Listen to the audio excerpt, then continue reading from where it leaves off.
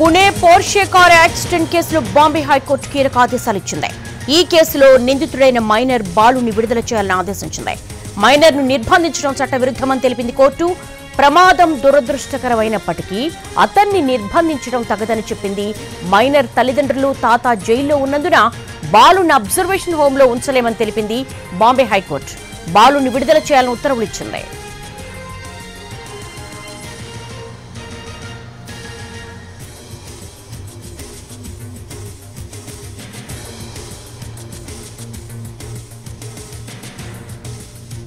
Pune Porsche car accident సంచలనం సృష్టించడం తెలిసిందే. ఈ కేసుకు సంబంధించి బాంబే హైకోర్టు చాలా కీలకమైనటువంటి ఆదేశాలు ఇచ్చింది.